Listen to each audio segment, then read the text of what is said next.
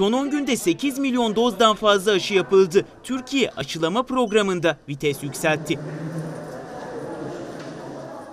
Sağlık Bakanı Fahrettin Koca sosyal medya hesabından aşılama çalışmalarına ilişkin açıklama yaptı. Son 10 günde yapılan aşı sayısı 8 milyon dozu geçti.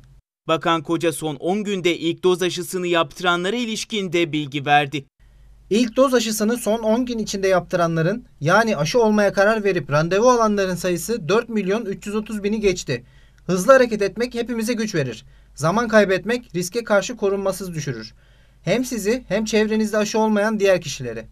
Her geçen gün aşıya talep artıyor. Programa yeni gruplar da dahil ediliyor. Hastalığı geçirenler için ikinci doz aşı sisteme tanımlandı.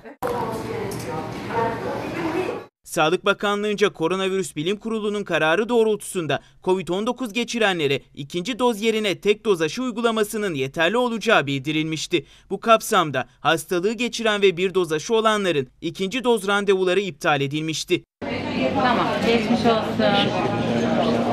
Covid-19 geçiren ve tek doz aşı olanların daha önce iptal edilen ikinci doz aşı randevuları tekrar sisteme tanımlandı. Hastalığı geçirenlerden hem bir doz hem de iki doz yaptıranlar aşı sertifikalarını e-nabız veya Hayat Eve Sığar uygulamaları üzerinden oluşturabilecek.